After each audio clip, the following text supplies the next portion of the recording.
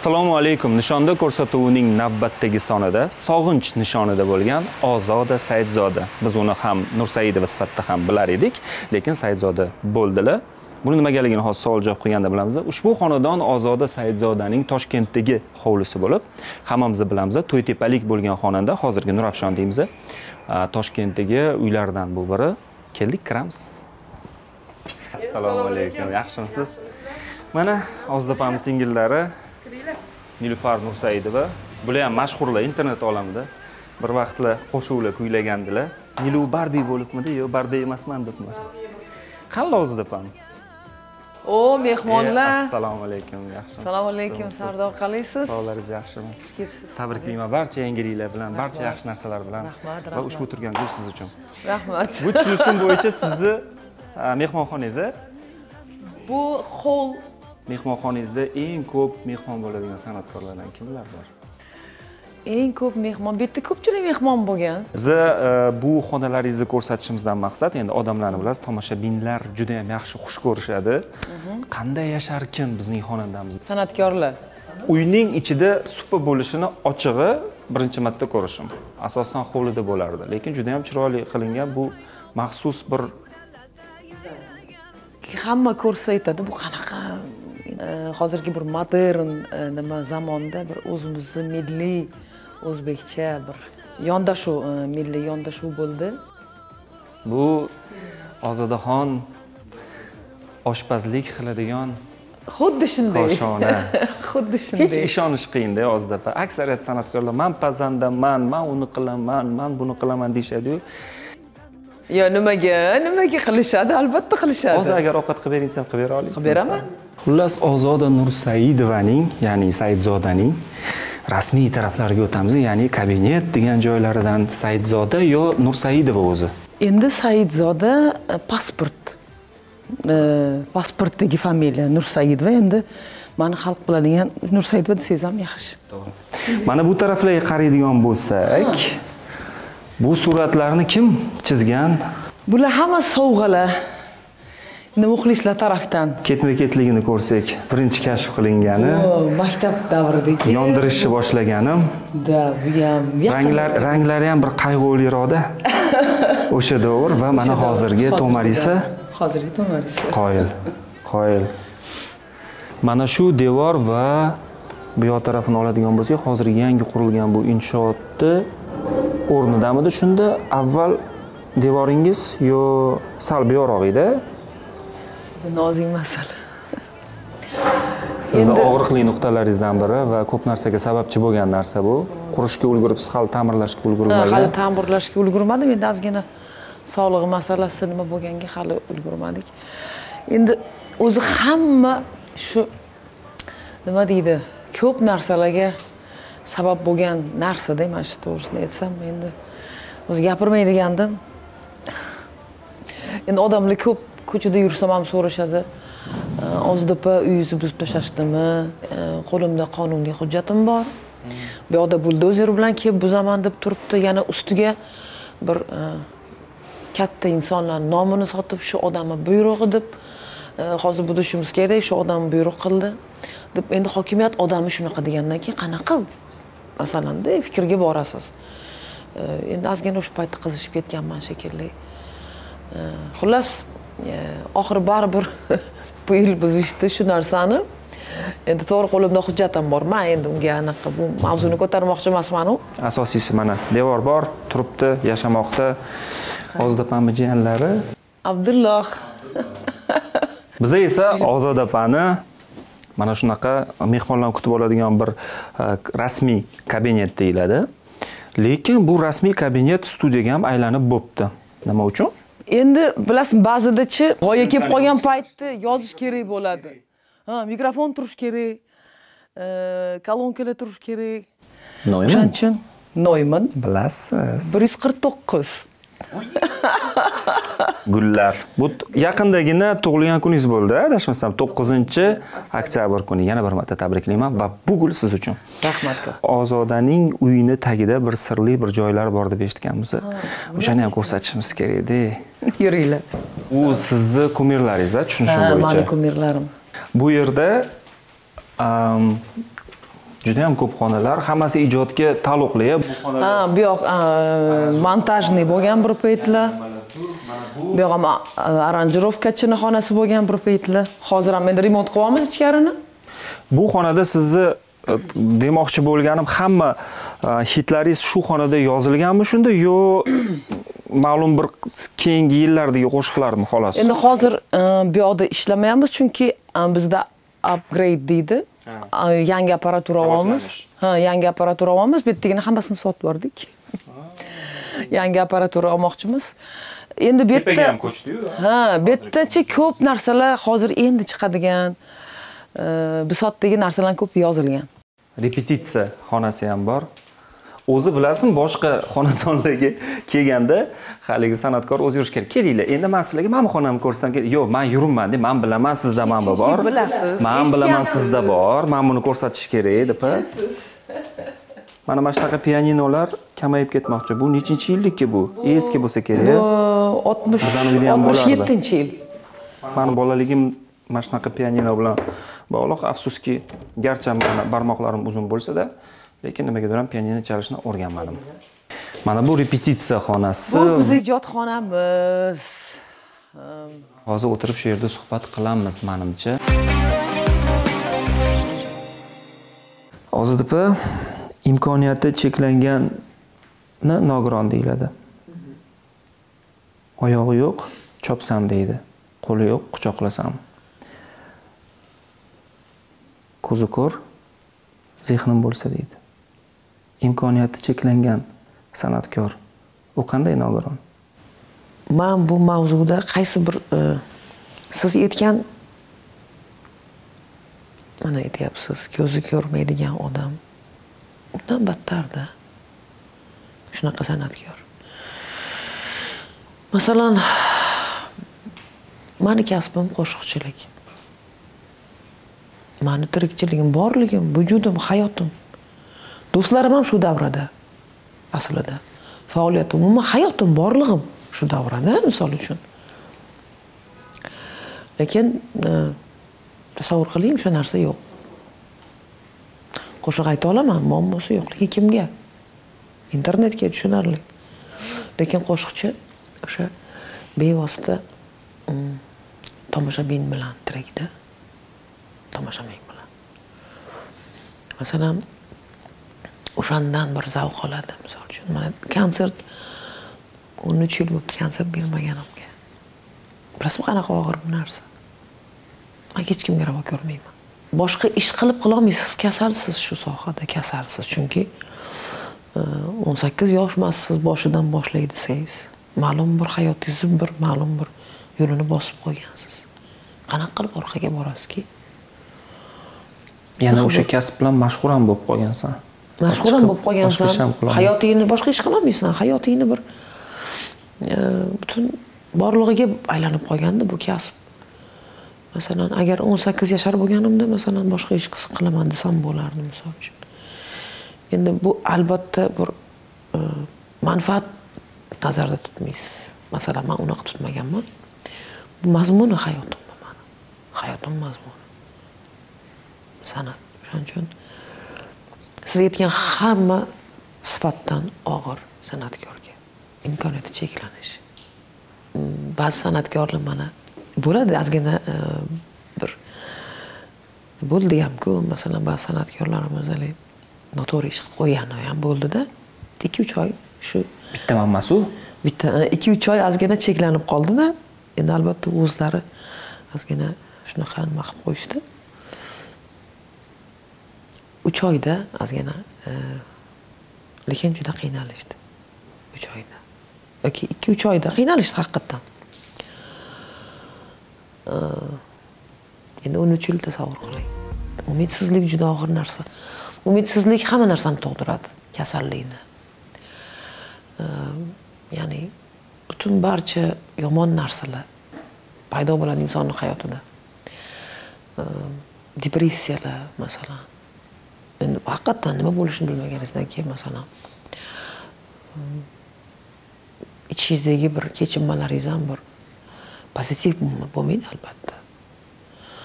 O'shaning uchun umidsizlik yomon narsa man to'g'risini aytganda rejalarim boshqacha edi shu dubayda albom chiqarishni rejalashtirib qo'ygan edim. Prezentatsiyasi klip bilan birga endi. Aksariyat e, san'atkorlarni man taqdirini bundoq o'rganib chiqadigan bo'lsam shunchaki san'atkor bo'lib qolmagan. Endi albatta bu xudodan iqtidorni bilamiz lekin u iqtidorni qanaqadir bir e, ustasi bo'lish uchun o'ziga xos mahorat qanaqadir bir e, instrumentlari deymiz e, bo'ladi. Va shuni baribir shu bolalikdan yoki o'smirlikdanga taqaladida bermoqchi bo'lgan savolim sizda qanday bu holat bo'lgan? Masalan sizni dardli nolalar qirolichasi.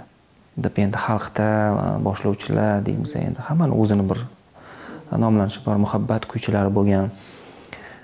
U dardlar o'zidan o'zi beriladi haligi aytganimdek berilgan iqtidor boshqa lekin u narsalar u qanaqadir bir baribir tayyorlanishiga sabab kerak sabab holatlari kerakmida manga bu nolalar bu dard manda ko'proq oldinda haqiqatdan juda kam gapirardim. Bolaligimda juda kam gapirardim. Bir narsadan siqilsam ham birov e, birovga bildirmasdim. Masalan kimdir so'rasa o'nta gapirsam bitta gap bilan javob berardim. Shu san'atga kelmasgina mahmadana bo'lib qoldim shekilli. O'zi jim yurganim ham yaxshi edi jim yurganim ham yaxshi edi aslida hamma narsani ichimga yutardimda birov e, xafa qilsa yoki birov nimadir desa ichimda qolardi. Konservatoriyada o'qigan paytlarim ham endi studentlik paytlarim ham talabalik paytlarim ham maktab davrlarida ham juda kam gapirardim. Nimamga mahmadana bo'lib ketdim keyin bilmayman. Maqom. Maqomda o'qiganman o'sha darsga kirsam qo'limda e, qo'limda player bo'lardi qulog'imda naushnik birov nima desa ham shu eshitib yurardimda o'nta so'rasa bitta javob berardim qilib qo'yardim. Nimani eshitib yurardingiz man ko'p narsa eshitganman. Rasul qori mamadali hind ragalari bormi? Manda ko'p narsa ya'ni biblioteka deydimi nima bunda to'plamda ko'p narsalar bo'lardi misol uchun. Fattaxon akani ham ko'p eshitardim rasul qorini ko'p eshitardim judayam. Endi qarang maqomni o'qigansiz eshitayotgan narsangiz u ovozingiz ham o'sha maqomga mos monand. Ko'pchilik e, maqom e, ustozlari xafa bo'lishadida mhm. mashhurlikka oshiqishadida shartta shu muzika o'tib ketishadi deb og'rinadigan san'atkorlarimiz bor. Siz eshitib yurganingiz ham dunyoqarashingiz ham intilganingiz ham baribir maqom bo'lgan. Nima uchun birdaniga? E, endi bu afsus emas albatta baribir yutuq yutuq bo'ldi lekin nima uchun maqomda bo'lmadi demak o'shani rivojlanishiga hissa qo'shmadingiz endi nima desam bo'ladi sizga? Man maqomda o'qib birinchi kursdan oxirgi kursga qadar ko'p dunyoqarashim ozgina o'zgardida o'zgarganda bir narsalar yaratgim keldi. Ya'ni bastalagim keldi. Bir mana hayolimda bir shunaqa asarlar eshitardimda ularni. Masalan nafaqat maqom. Man butun dunyoni eshitardim masalan. E, ya'ni bir narsalar yaratgim kelardi. Bastalagim kelardi. Umum ya'ni o'sha qanaqadir ongim o'sdimi qanaqadir nima desam bo'ladi. Dunyoqarashim ham o'sdi musiqaga musiqiy didim ham o'sdi keyin e, ijrochilikdan e, masalan to'g'ri o'zim ijrochiman lekin qanaqadir bir xayolimda kallamda bir ajoyib bir kompozitsiyalar kelib qolardida g'ayritabiiy maqom yo'nalishidami yo'q. Masalan bitta narsani aytaman sizga. Man qo'shiqlarimda hamma janr bor eshitgan bo'lsangiz. Chunki o'sha an'anaviy e, uslub ham ishlataman qo'shiqlarimda. e, yevropa ham ozgina bor o'sha pozitsion ishlatganimda harakat qilaman o'sha klassikani ozgina hamma ya'ni hamma qo'shig'imda emas masalan qo'shiqlarimda hamma narsa bor ichida masalan hamma o'zimizni klassik pozitsiyadan ham foydalanaman qo'shiq yaratganimda ijro qilganimda ham omiqda narsalar ko'p qolaman. Mutlaqo chiqib ketmadim maqomdan deng. Yo'q umuman chiqib ketgan ustozlaringiz bilan hech ko'rishib qolganingizda ular essiz deyishmadimi? Shundoq san imkoniyating shundoq san'atingni shou biznesga berib yubording essiz. Haligacha haligacha e, gapirishadi. Ko'p ustozlar aytardi. Man konservatoriyaga kirganimda mani ovozim mezzo soprano mezzo soprano juda kam bo'lar ekanda ya'ni daromad avj. Masalan daromad ham e, avjga chiqqanda daro- haligi nima deydi? Tembr buzilib ketmaydigan birinchidan diapazon yaxshi. Avjda masalan tembr hali ingichkalashib buzilmaydigan e, kam bo'lar ekan ovoz. O'shanda domlalar aytardi. San maqomni ijod qilishing kerak. Ho'p turdim keyin magistradaga o'tib ketdimku. Nima qilding san nimaga aytmaysan san aytishing kerak maqom. San aytishing kerak haligacha aytishadi. Endi aytgan narsalarim ham bor. Oltin fondda bir ikkita narsam bor adashmasam endi baribir ustoz orifxon akani narsasini aytganman bir. Aytib turardim maqomda hamu lekin unaqaja hamma repertuarim hammasi maqom bo'lmagan. Lekin boshida maqomdan boshlaganman. Hozirgi tushuntirgan narsalaringiz boru mana ovozimni soprano haligi tepa past e, musiqiy terminlarni aytganda endi xalq tushunmasligi mumkinda uni siz hozir shu tushuntirgan narsangizni qo'shib qilib kuylayvering mast jomi vasli tep avval meni zovra aylading so'ngridin hijron xumoriga sazavora aylading so'ngridin hijron xumoriga sazavor eyledin. Sildin ümidim bu ermas erdi kim bedod dila xotirim oshufda o'kung ko'nglim tabax ko'raylading xotirim Ökün Lüm təbəx kar eyledin esimdan chiqdi ancha. Man e, talabalik paytimda aytganman boshidan mo'g'ulcha navo.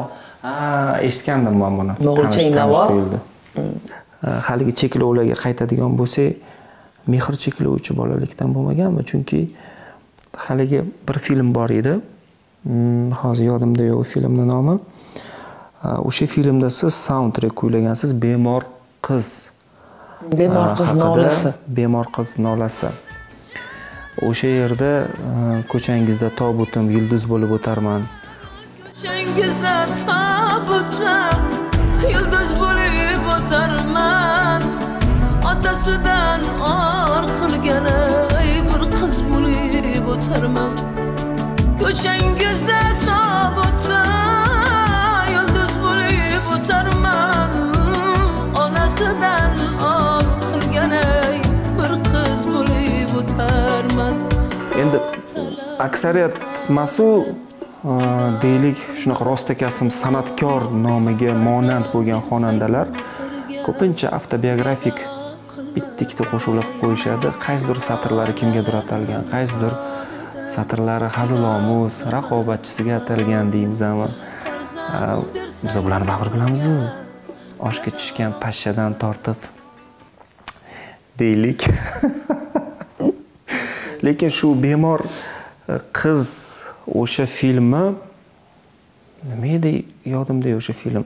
Xullas e, o'sha yerda rol ham o'ynagansiz kichkinagina o'zingiz rolingiz xonanda sifatida keldingiz kuyladingiz ko'changizda tobutim yulduz bo'lib o'tarman. Bu man man sizni bilaman shunchaki satrlar yozmaysiz. Bu bolaligidan qanaqadir bir boshqacha bir e, mehrdan cheklagan bo'lganmi deb o'ylaymanda manda ozgina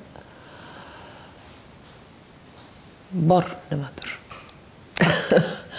Endi bilasizmi e, hayotda insonlarni har doim silliq bo'lmaydida. Masalan kimdir onani mehriga kimdir otani mehriga bir to'ymaydi. Ehm, Kemtik tegib bo'lsa-da bola baribir qaysidir ma'noda. Endi baribir o'sha yerda bolaligida olaverar ekanda maniki qalbga baribir bor nimadir? Muhr bor. Endi u qo'shiq yuz foiz ehm, mani hayotim deyolmayman albatta. Lekin bor. Mani mm, ozgina manga taalluqli joy bor juda ozu lekin bor. O'sha filmdagi o'sha saundtrek va aynan shu so'zlarga suratga olingan lavhalari ko'rib nimalarni his qilgansiz o'zingiz? Uni jonlantirish lekin klip olmagandingiz-da u qo'shiq. Yo'q klip olmagan edim. Bu qo'shiq ikki ming uchinchi yil yozilgan. Shuhrat aka adashmasam bir yil manga aytdilarda shu- shuni. Man aytdimki okajon man kinoga tushmayman. Man to'g'risi kinoga tushishni yoqtirmasdim.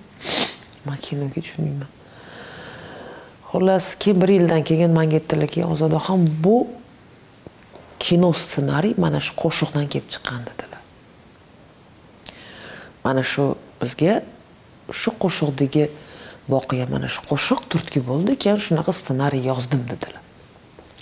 O'shaning tushmasangiz bo'lmaydi iltimos endi iltimos degani manga tushuntirdilar man tushundim ya'ni ozgina kichkinagina bir rol o'ynab berasiz ko'p emas lekin xohlasangiz "Aa", dedilar keyin ozgina o'ynadim xullas yo'q manga yoqdi albatta. Ko'rganda juda yam yig'ladim. Qattiq. Oilangizda san'atkorlar bo'lmagan deb eshitgandim lekin onangiz raqqosa bo'lganlari rostmi endi raqqosa endi qiziq raqsga tushish yaxshi ko'radi. Qiziq xorazmchani yaxshi o'ynaydi. Ha, lekin oilada san'atkorlar bo'lmagan. Siz bilan bir a, bo'lgan suhbatda mm, raqobatga taqaladigan bo'lsak a, ochiqlash shart emas voqealar shart emas chunki shundoq ham hamma biladi. Shunchaki o'sha o'sha yerdagi aytgan bir so'zingiz esimda qolib ketganda sahna talashganmi desam g'urur degandingiz to'g'ri. Undan keyingi yoki shu voqea bilan bog'liq narsalar nimagadir o'rgatdimi sizni ko'p narsa o'rgandim. Bilasizmi man oldin shunaqa mm, o'zimcha aytardimki man to'g'ri ish qilyapman o'zimni tosh tarozim bor edi masalan. Mana shu yerda man to'g'ri ish qilyapman. Demak e, shundoq bo'lishi kerak. Nima demoqchiman sizga? Mana g'urur. Man siz esladim qaysi suhbatda gapirayotganingizni. Sardor bilasizmi e, man shu kungacha hech qaysi san'atkor bilan talashmaganman birov bilan urushib yulishib unaqa hech qachon bo'lmagan. Man bilasizmi qachon chidolmayman qachonki mani haqorat qilsa chidolmayman mani urishsin so'ksin man haqli bo'lsam boshimni egib turaman. Lekin mani behudaga haqorat qilsa izza qilsa o'sha paytda chidolmaganman masalan. Shu xolos. Lekin man qattiq eshitgansiz mana siz bilasiz mani necha yildan beri bilasiz.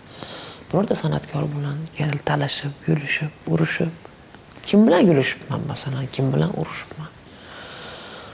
Ba'zi bilasiz o'zingiz man nima haqida gapirayotganimni? Bitta holat va o'sha. Bitta holat. Ö, ki u ijodiy jangga ham aylanib ketdi keyin. To'g'ri. O'zingiz ham qitmirsiz tan oling man nima qildim? O'zimdan ham o'tgan to'g'ri gapingiz. Afsus endi bilasizmi inson bir birini chehrasigacha kulib qarab yaxshi samimiy munosabatga nima yetsin bu eng yaxshi narsa. Hamma narsa qolib ketadi hammamizdanda aslida. De hech bir urush- urushib talashib nima qiladigan hech bir narsa yo'q. Aslida arzimaydi hech narsa u narsaga. Odam bir biriga g'animat bir biriga yaxshi munosabatda bo'lsa yaxshiku deyman de. ancha bosilgansiz lekin ancha bosilgansiz bu narsani nimaga aytmoqchiman? Ancha bosilgansiz deb sizni qanaqadir bir e, o'zi yomon bo'lgansiz demoqchi emasman. Bitta fikrni bilamanda endi bu nechog'lik kimga sizga qanaqa ta'siri bor bilmadim lekin bir narsa borki endi bu mani fikrim subyektiv. San'atkor nechog'lik san'atkor mahorati deylik mayli iqtidorga tegmay turaman san'atkor iqtidori nechog'lik kuchli bo'lsa uni boshqa bitta tarafi ham shunaqa kuchli bo'ladi deb bilamanda bu yomon tarafi bo'lishi mumkin bu hasad bo'lishi mumkin bu telbaroq bo'lishi mumkin. Bu yana bilmadim.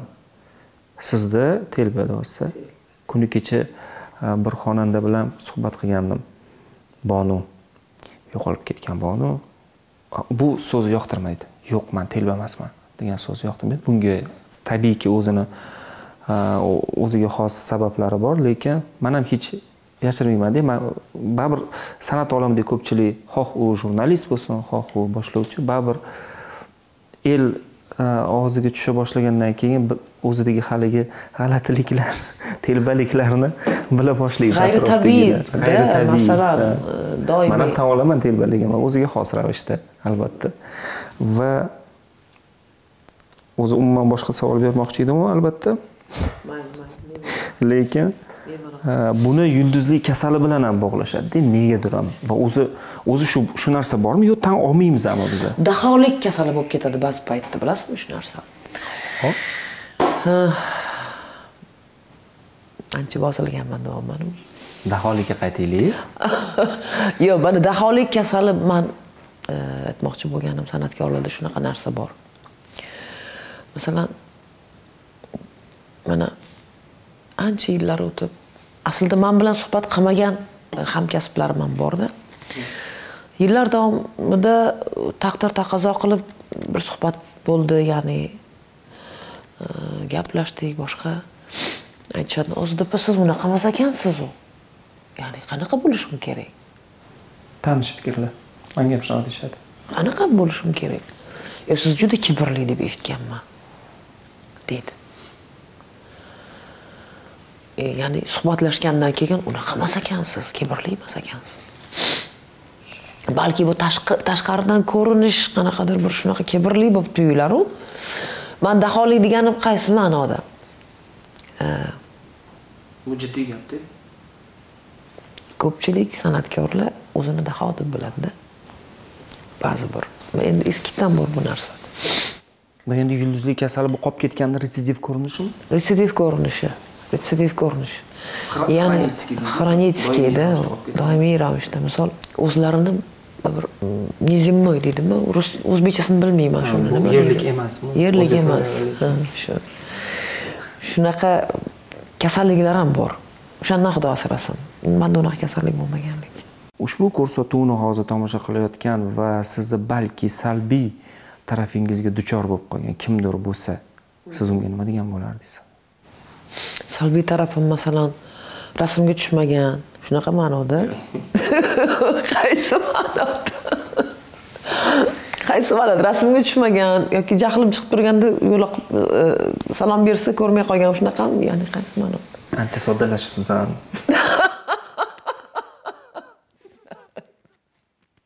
maylida endi farqi yo'q. Qanaqa bo'lsa ham. O'shalar ham. Salbiyligingizga uchragan bo'lib qolishi mumkin man nimaga bu savol berayotganim? Na hozir endi mana bunaqa javob beryapti. O'zi anavi deysanglar manga nima degandi? Deyotganlar baribir bo'lsa hoy o'shanaqa deb nima degan bo'lardingiz o'shanaqa man sizni tushundim. Давайте жить дружно. Dirdim yoki do'stona yashaylik do'stona yashaylik dirdim do'st bo'lib yashaylik do'st bo'lib yashaylik shunaqa qo'shiqingiz yo'q sizda yo'q aytaman yaqinda xudo xohlasa xudo xohlasa bu boshqacha bo'lsa kerak? Shu faqat e, pozitiv faqat yaxshilik hech ham endi paytda qanaqadir bolalik qilgan bo'lishim mumkin. Nima desam bo'ladi endi manja unaqa. Aytdimku qanaqadir vaziyatlarda e, go'llik qilgan bo'lishim mumkin. Ba'zi paytda haligi o'sha emotsiyalarga berilib telbaligim haligi mm, provokatsiyalarga berilib qolgan bo'lishim aynan shu jihatlarim emotsionalligim emotsionalligim mani ko'p ko'p mani e, muammo keltirgan manga emotsiya masalan. O'shaning uchun demoqchimanki emotsiyani ozgina jilovlash kerak. Ancha jilovlaganman hozir. Ancha juda ko'p. Baxtli ko'ringanlarni ham biz bilamiz-ku aslida baxtsiz ekanligini. Lekin shunchaki tomoshabinlar uchunmi hamkasblarni orasida mana mani turmushim bor deyish uchunmi? Man hozir aynan kimnidir bundoq ushlab olib tosh otmoqchi emasman lekin shu narsani bilamanu ko'ramanu man tushunmayman shunchaki tushunmayman. Qanaqa qilib shunchaki xo'ja ko'rsinga turmushni ham ko'rsatish mumkin deymanda. Masalan siz bunaqa narsa yasab bermadingizda qanaqadir bir e, fiktiv to'y qilmadingiz masalan qanaqadir aktyorni yollamadingiz o'tkazib qo'ymadingiz. A to'yim bo'ladi dedingiz bo'ldi shu joyda ushlandingiz shunisiga javob bersangiz bo'ldi. Bilasizmi man e, gapingizni tushundim. E, bu juda nozik masala sardor. San'atkorlarni juda nozik masalasi siz juda endi man hozir gapirsam kimlarnidir Man- yo'q man hozir noto'g'ri narsa savol berdim ayting yo'q? to'g'ri savol berdingiz. Man his qilmoqchi tushunmoqchiman shu narsani sizdagi holatida. Kerakmikan shu e, kimlargadir baxtli bo'lib ko'rsatish yoki borini borlig'ini ya'ni borini ko'rsatishmi shunaqami? Yo'q, murakkabda san'atkorga shu narsa ham mashhursan endi mashhur bo'lgandan keyin san kuchli ayolsan. Mana bu masala yana boshqa bitta tarafida. Kuchli ayol yo'q o'zingdan ham kuchligini topishing kerak. Unda umuman hayot bo'lmaydi bir biringlarni urib do'pposlab nimadir bo'lishi mumkin.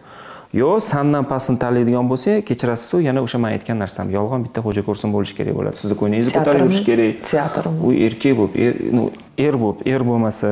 Bilasizmi sardor masalan qarangda. San'atkorni hayoti haqiqatdan e, juda murakkab lekin yana bir tarafi borda. San'atkor mana oddiy misol aytishadiki e, xotin bo'lish uchun ham katta mehnat qilish kerak deydi. Er bo'lish uchun ham katta mehnat qilish ishlash kerak deydi. Masalan ertalabdan kechgacha ishlaysan masalan. Ya'ni deganiki xuddi bir joyga kirib ishlaysanku masalan odam ishlaydiku lekin sizga yaralmagansiz. Man ijod uchun yaralganman desam yo'q shuni ham qabul qiladiganlar borku man e, albatta ishlatib qo'yish uchun uylanmaydiyu odam yo'q man tushunmadingiz mana masalan yaxshi xotin bo'lish uchun ham mehnat qilish kerak. Tushuntira oldimmi? Birinchidan psixologik ya'ni yo'q.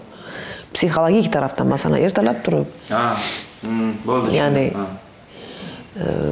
eri eri uchun yaxshi psixolog ya'ni vaqtini ajratish kerak. Do'st bo'lish kerak. Do'st bo'lish kerak uni dardini eshitish kerak ana o'shanda umr e, ya'ni mana shu soyuz mana shu e, nima? Juftlik. E, uzoq e, birga bo'ladi. Ba'zi bir oilalar bor o'zi ham san'atkor turmush o'rtog'i ham san'atkor eplab Bu tushunarli. bu tushunarli. Uyda qanaqadir insonlar bor yordam berishadi. Bu juda ham tushunarli ham juda to'g'ri. Lekin pul ko'p topgani uchunmi ayol baribir e, bosh bo'lib qoladi darhol paytda. Oila haqida gapirishga majbur qilyapsiz deyapmiz bu shu edi savol. To'g'ri to'g'ri bermadingizda endi u- yoqlarga ham o'taylik dedimda qiziq taraflari borda bu savolni tushunasizmi juda nozik tarafdan ushlaysizda sardor juda nozik taraf.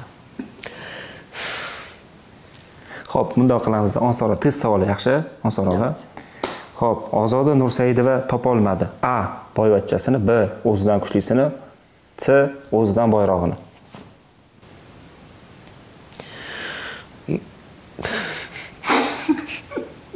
d uchalasi uchalasi ham noto'g'ri.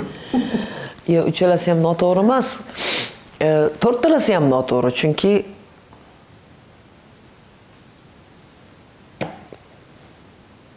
topdi no e, shart emas uni hamma bilishi. Tarafi ham bor. Masalan davom topdi. Masalan masalan masalan. Masalan qanaqa? Man bilasiz sardor man shaxsiy hayotimni gapirgim kelmaydi. Ommaga endi nomzodlarga ham qizuvdirda nomzodlar ya nomzodlar band nomzodlarni anaqasiga kerak. Endi kasting tugadimi yo'qmi? Kasting tugagan band. Juda nozik savollar berasizda. Jahongir otajonov haqida aytadigan bo'lsak a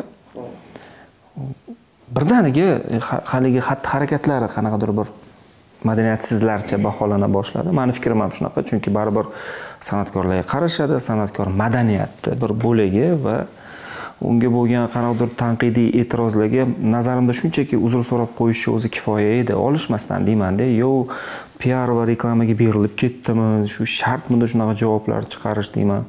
Xuddi shunaqa holat siz bilan ham bo'lganda masalan raqsga tushgansiz ayol kishi. Raqsga man man san'atkorman.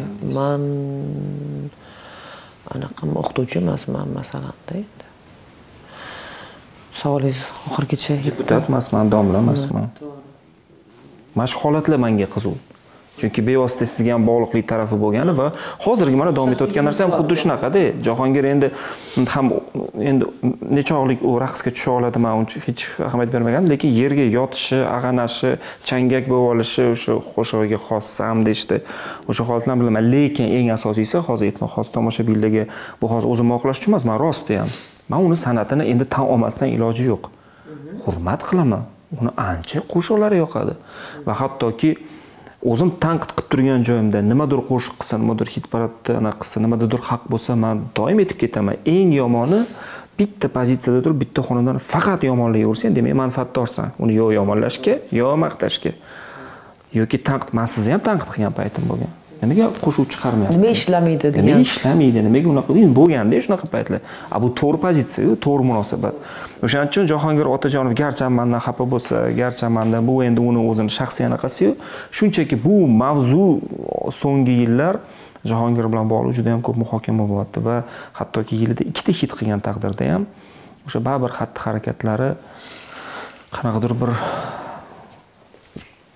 bir bir ramkaga tushishi kerakmikan bir qanaqadir bir o'zini ushlab turishi kerakmikan yo sizni fikringiz qanaqa bu voqealar yuzasidan bu narsalar yuzasidan? Yo san'atkor endi san'atkorku o'ynayversin yerga tushaversin endi baribir farqi bormikin deymanda masxarabozlik ham bu ham san'at turiga kirgani bilan lekin u sirk. Siz raqsga tushgansiz bu lekin boshqacha demoqchimisiz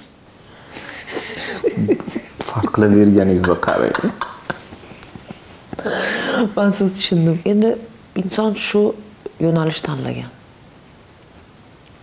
shu birdaniga boshidan emasku siz boshidan shu nolalar qildingiz bir kardinalni o'zgarib bir rep etib ketmadingizda? Balki bu qandaydir e, nima desam balki shoudir man ham tushunishga harakat endi baribir hozirgi zamonda e, endi bilasiz hayp shou mana masalan shunaqa narsa bor. Psixologiyada bizani san'at umuman shou biznesda e, siz aytyapsiz zerikarli bo'lib qoldi man o'zim zerikarli chunki shunaqa yerga turish kerak emas yo'q yo'q ag'anab yo'q yo'q yo endi u darajasi o'ziga bilinmasa kerakdirda yaxshi ijobiy aytyapman unga tanqid emas. Man ijobiy ta'rif berib aytyapmanda unga. Ustoz darajasiga kelgan odamda ovozi mahorati zo'r zo'r anaqa hayotda gaplashganda ham juda yam yaxshi inson. Shu qo'shiqqa berilib ketadimi bilmayman. Endi balki bu pozitsiya bo'lishi mumkin balki haqiqatdan berilib man tushunmadim. Endi bu oddiy bir shunaqa e, san'at turi bo'lishi mumkin. Masalanda odam o'ziga bir e, tanlagan san'at turi bo'lishi mumkin masalan. Lekin e, bir narsani to'g'ri e, tushunish kerak. Bu biznes. Biznesda kim qanaqa e, ishlasa o'zi biladi misol uchun. Endi shunaqa biznes turi shunaqa yo'lni tanlagan. Man ham harakat qilaman tushunishga. Endi jahongir juda zo'r zo'r ijrochi yaxshi san'atkor o'zi ham yaxshi bola. Duet etgan bo'lamidi o'zi ham yaxshi bola. Hurmat qilaman. etgan bo'lamidi o'tamiz hali mavzuga. Yaxshi bola. Endi mani fikrimcha sardor bu qandaydir bir to'g'ri o'zini o'zini fikricha to'g'ri pozitsiya masalanda. Endi shou biznes degandan keyin biznes qilish kerakmi? Pul ishlash kerak. Odamlarni e, jalb qilish kerak. Buni yomon tarafi yo'q. Yo'q man bu savolni nimaga berganim sabab aytyapman o'z vaqtida sizga ham xatti harakatlar e, yuzasidan tanbeh bo'lgan. Shu uchun bog'lab aytyapman man hozir sizdan foydalanib yo yo yo yo yo. Ho'p endi siz duet etsangizda mabodo man bekorga bu savol bermadim. Shartta qayerdadir to'yda tap etib yo'q qarasangiz yoningizda bundoq qarasangiz yerda yotibdi siz ham yoniga yotib olishingiz kerakmi shunda endi. Yo'llaringizni ko'tarib. Yo o'ylaymanki bu e, jahongir zo'r bo'lsa kerak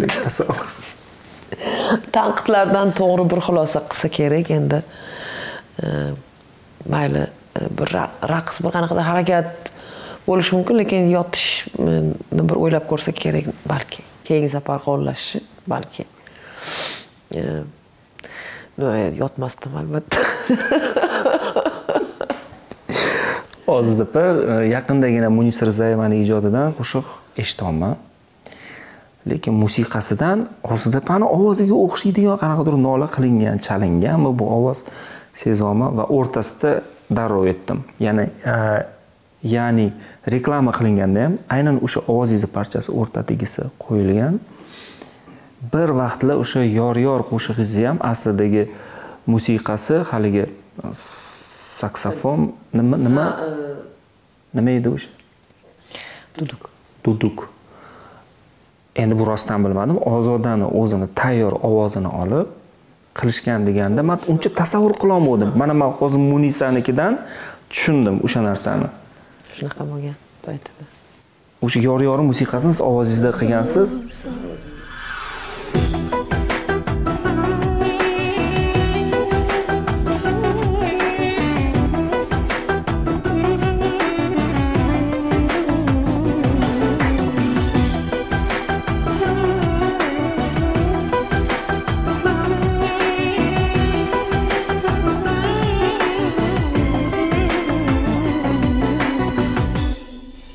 munisada ham. Endi qarangda bu bu qanaqa kechdi? Bu u sizga taklif etdimi shunaqa? Shuni shunchaki bilanga ovoz qilib bering. Endi u bilmasa ham yo'q yo'q e, bitta asar qilishgan ekan. Bir nima de? Bitta asar qilishgan ekan deb iltimos shunga bir arabcha nimadir qilib bering deb jo'natib yuborgan ekan. Ha ovoz. Ha nima qilib beray desam bilmadim bir narsa qilib bering dedi. Bir nima dega bir nima qilib berdingiz bir nimaga bir narsa qilib bering deb iltimos qildi. Endi yaxshi singlim juda ham hurmat qilaman. O'zi ham yaxshi bir inson.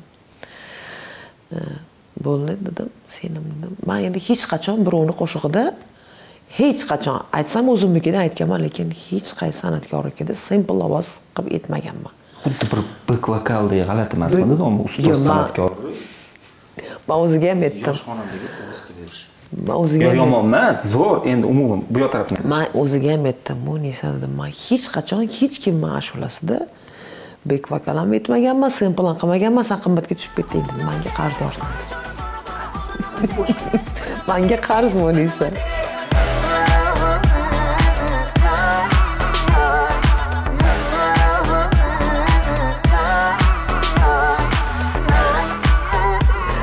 hazil o'zimni singlim yaxshi bir boshqacha yaxshi ko'raman o'sha. Tashlabsiz bek vokal bo'lar balki balki bir erka singlim bo'lgancha xo'p dedim lekin o'ziga aytdim san manga qarz bo'lding chunki man hech qachon boshqa bir san'atkorlarni ashulasida bunaqa simple yoki bek vokal aytib bermaganman. Qarzdor bo'lding deb qo'ydim. O'sha parchani kuylab bering. Yalla ya habibi ya ayni ya ayni Yalla ya habibi ya ayni ya ayni Ya ayni leli ya leli leli. Ya ayni leli ya leli aman. Shunaqamidi?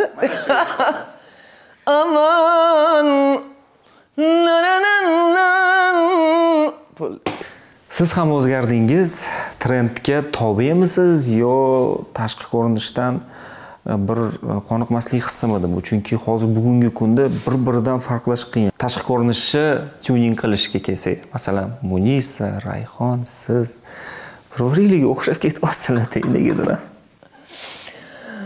endi balki makiyajda bo'lishi mumkin. Stilingiz bitta bo'lishi mumkin. Balki. Lekin man o'sha o'shaman man o'sha o'shaman xabarim bor e, sizni birdaniga ozib ketishingizga e, qo'rqib ham ketdi muxlislarimiz o'sha paytda. Operatsiya qildirib keldingiz. Bu ham bir tyuningni bir qismimidi yo bu kasallik bilan bog'liq operatsiya bo'ldimi? Man e, bir aytib ham o'tuvdim shekilli. Man olti yildan oshiq mm, manda oshqozon yazvasi bilan e, grija o'zbekchasiga churrami tarjimasini bilmayman juda kam uchraydigan kasallik ekan. U faqat shu e, ko'proq xonandalarda bo'lar ekan. Chunki kuchanish e, natijasida professional kasallik. kuchanish natijasida oshqozon o'zini haligi nimasidan ko'krak qafasidan chiqib ket chiqib ketar ekanda keyin suv ichsangiz ham ovqat yesangiz ham oshqozon ishadi. Keyin yazva bo'lsa ikki taraflama og'irlik bo'lgan. ikki karra. E, xullas shu olti yil juda qiynaldim chunki endi baribir san'atkorga og'ir. Keyin majbur operatsiya qildirdim. Undan keyin e, ikki yil davomida man parhez qildim. Hozir ham parhez qilaman. Chunki o'rganib qoldimda o'sha parhezga. Endi baribir yuz foiz parhez qilmayman. Oldingidek qirq kilo ozib ketganimdan keyin olti kilo semirdim. O'sha normada yuribman hozir mana. Ikki yildan beri? Nima uchun to'maringiz nima uchun birdaniga bunday qo'shiq? Nima uchun birdaniga to'maringiz ichki kechinmalar demoqchimisiz? Bu o'sha o'zimni borligim o'tmishim yo mani kelajagim bu endi. Shunaqasidan sayyod deb berdingiz? Sayyodni. Lekin otganimda esladim sizni. To'g'risini aytgandachi man endi ko'p ancha davr shu biznesdan e, ijoddan chetroqda bo'ldim xabaringiz bor lekin shu yillar nimadir qilgim keldi. Buni ochiq aytish kerak. Uch yilda ko'p narsa o'zgardi sardor. Mana shu yil man mustaqillik bayramini ham ko'rdimda. Jonli bo'ldi konsert. Bu katta bir nima? Juda bir katta bir yutuqda bu narsa masalan. O'sha paytlari harakat qilishardi. Jonli qilamiz jonli qilamiz. Ana yangi yil bu yil yangi yil bu yil hech qiyin bo'ldida lekin mana hozir jonli qilishyapti bu katta yutuqda juda katta yutuq. Ko'rib endi haqiqatdan mana bu islohotlar deymizmi hamma bir o'zgarishlar haqiqatdan ko'rib baribir qanaqadir jonlanasizda baribir. Oldin kuniga bo'layotgan bo'lsa o'zgarishlar bugun soatiga bo'lyapti. Soatiga bo'layotgan o'zgarishlarni ko'rib jonlanasizda baribir qanaqadir endi haligi ruhiyatingizga ham ta'sir qiladi bu narsa. Bo'larkan masalan ancha yillar davomida mana jonli qilamiz mana ertaga qilamiz indinga qilamiz deb shuncha harakatda bo'lmadida o'sha narsa. Lekin mana ikki uch yilda shu narsani jonli konsertlar e, tasavvur qiling shuncha odam mayli e, yakkaxon konserti jonli qilsa man aytamanki ha lekin bu katta konsertni birinchidan davlat konsertini yana shuncha odam ya'ni o'sha paytda san'atkorlar almashish kerak. Bu juda qiyin murakkab narsada qilishyaptiku shu narsani. Endi man bir misolni aytyapmanda misol ko'p o'zgarishlar ko'p haligi ushalmas orzuga aylanib qolgan narsalar ham hozir ushalyapti misol uchun. Ko'p o'sha paytda yuragimga tugib qo'yardimda. Shularni bir rag'batlantiradigan bir narsa qilishim kerak derdimda ichimda bir bu mani bir e, vatanparvarlik desam bir qanaqadir nima bo'lishi mumkin? Chiroyli so'z bo'lishi mumkin yoki bir qanaqadir balandparvoz so'z bo'lishi mumkin hammamizda bor bu o'sha ichimdagi bir nima narsada e, o'sha g'urur deymizmi? Mana shu narsa qo'ymasdida. Nimadir qilaman bir kun. Dirdim har doim. Lekin nodira begim emas to'maringiz siz nodira begim yo'q yo'q nodira begim tasavvur qilaman mani xarakterimga to'g'ri glamurniy kelmaydi ko'ringan bo'lsa ham glamurniy tomaris bo'lgan bo'lsa ham lekin tomaris sizga mos lekin nodira begim bo'lsangiz man chidolmasdim yo'q yo'q nodira begim yozaverardim. yo'q yo'q nodira begim bo'lolmasdim hech qachon endi man xarakterimda o'sha o'sha. Xarakterim umuman e, nodira begimga hech qanaqasiga bir yaqin joyi yo'q. Tomaristi bor. O'sha hayotdagi endi qisman. Qisman taraflari bor. Tomaris to'g'risini aytganda qaysidir jihatlari e, ruhiyati manga yaqin. O'shaning uchun tomaris tanladim. Ozod va ozoda bo'lsa duet davomi boshqacha bo'lardi deymanda hech o'ylamaganmiz. O'ylab ko'rmagan ekanman. Balki bo'lib qolar. To'g'ri kelarmikan sizlar? Tusharmikan? a, ovozlar tonalnostlar deydimi nima endi u asarga bog'liq. Asarni kompozitsiyasiga bog'liq. To'g'ri kompozitsiya qilsa masalan to'g'ri tonalnost bo'lsa qilsa bo'ladi endi. O'ylab ko'rmagan ekanman hech. lekin ayol xonandalar bilan agar duet desak endi hozir bir qiziq bo'lsa kerak. Masalan ım, haligi testda ketadigan bo'lsam gulsanam mamazoitova munisa rizayeva mavluda asalxo'jayeva yulduz usmonova kim bilan? Deylik hammasi shu to'rttalasidan taklif bo'ldi. Rosayu yo mayli deylik. Endi tasavvur qilaylik. Qiyin tushunaman ayrim holatlarda. Lekin tasavvur qilingda qilib ko'ring ijodkorsiz tasavvur qila olasiz qaysi biriga xo'p turdingiz? Hammasi e, yaxshi ijodkorlar zo'r ijodkorlarda masalan. Juda ajoyib vыбор lekin tanlashim shart to'g'rimi? Bittasini mayli shaxsiy tab yoki ular taklifidan kelib chiqqan holda emas qaysi bilan tushgan bo'lardi qaysi sizni darajangizdagi manimcha gulsanam bilan tushgan bo'lardi ko'proq. E, nimamiz yo'nalishimiz? Endi balki. Ha endi balki. Sizlar san'atkorlar hamisha ham tomo- tomoshabinni xohlagan narsasini e, endi sizga bu narsani aytmagan bo'lardim. Chunki siz doim his qilib kelgandingiz avvallari lekin keyin qanaqadir bir shu hindcha yo'nalishlarga kirib ketdingiz chuqurlashib ketdingiz murakkablikka qarab ketib tomoshabinni unutib qo'ygandingiz chunki siz o'sha tomoshabinni qalbi bilan muloqot qilishga o'rgangan va shu bilan bir boshqacha ajoyib tomoshabin bo'lmasa nimani his qilaman? Eh man oxirgi albomim ikki ming oltinchi yil chiqqan. Tomarisga aylanibsiz qolibsiz nishonga urishda raqobatda ham bir boshqacha bir yo'llari yo'l to'sishlar nosog'lom raqobat ya'ni yo'l to'sishlar bo'lib turib haligi ha bo'lsa bu haqiqatdan san'atkorni qiynab qo'yadi bu narsa. To'g'ri raqobat masalan mana sahna ishla. Bu undan zo'r narsa yo'q. Ana qanaqa asarlar yaraladi nima qilmoq kerak shu paytda? Agar bo'rini og'zi yesa ham yemasa ham qon bo'lsa uni xarakteri shunga tobe bo'lsa. Yo'q xarakteri tobe emas. mana masalan qarang paytida yosh bo'lganman provokatsiyalar. Nimaligini tushunmaganman. Mana hozir ulg'aydim man tushunaman. Manga provokatsiya o'tmaydi. Lekin e, boshqa yo'llar bo'lishi mumkinda. Endi Ular xuddi shunaqangi bo'ladiki tosh kelib qayerdan qayerdan tosh kelib urilganini bilmay qolasizda albatta nihoyatda ehtiyot bo'lish kerak. O'sha siz to'g'ringizda qanaqadir xabar yoki ma'lumot bo'lganda miyamda o'sha qo'shiq aylanadigan bo'lib qolgan salgina yiqildim salgina egildim sinmadim ona. Shu qaytarilmadimikin hayotlar to'g'rida shu narsa dedimda va lekin bitta narsani aytib turardim. Ish qilib haligi anavi quvonchli kunlar yetguncha sinib qolmasin deb shu ayollardan bu nechinchi yil yozilgan qo'shiq? Qo'shiq ikki ming oltinchi yil konsertda aytganman. O'n uch yil bo'ldi. Nima sababdan bunaqa qo'shiq kuylagansiz o'sha payt?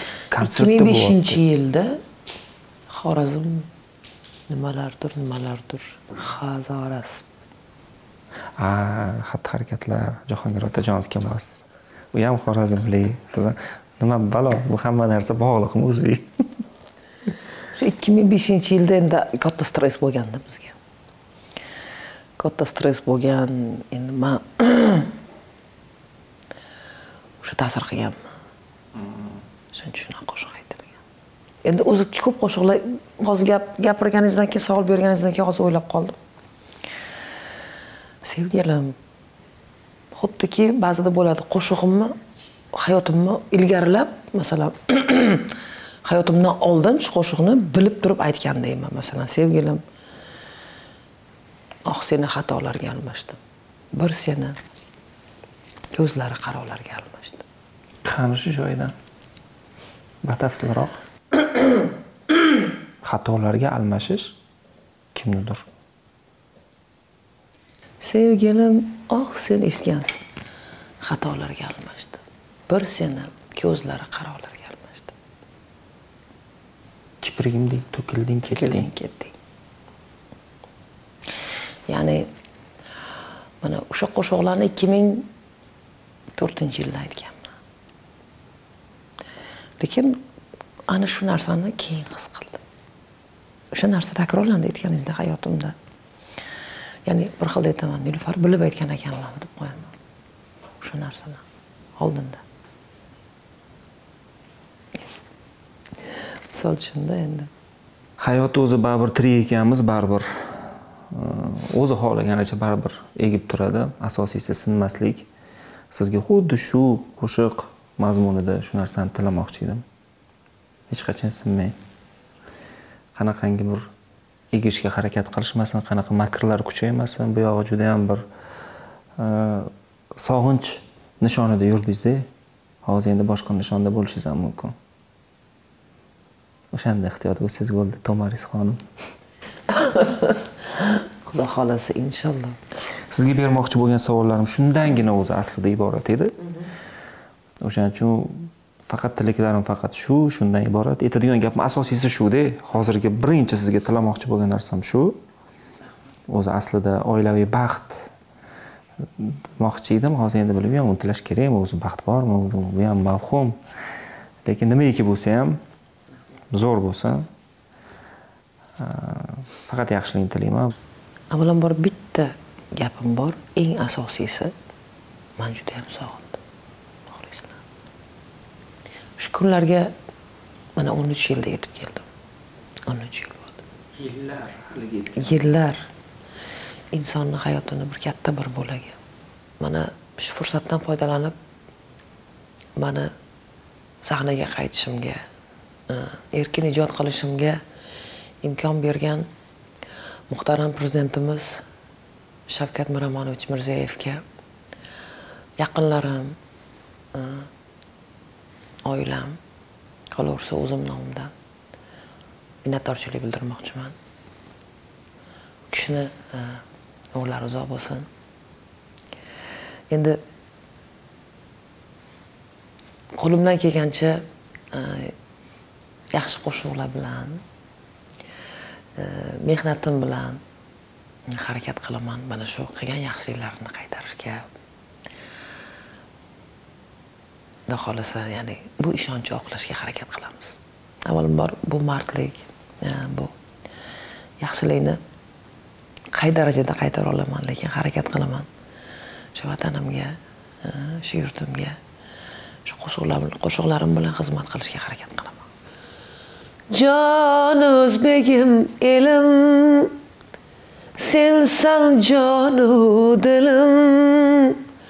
Jon o'zbegim elim sensan jonu dilim. Baxtim sensan ahtim sensan sensan aziz elim. Baxtim sensan ahtim sensan sensan aziz elim jon o'zbegim elim normalniy bo'ldimi hozir? Mana uchinchi savol ham bog'lab turgan bo'laman deb aranjirovka qilmashdi o'zi tayyorlab bular ketmaydi xudo. Unda boshdan aytib bering aman degan joy. Bo'ldi. Qarzman aytib beraman sizga narsani nima devordim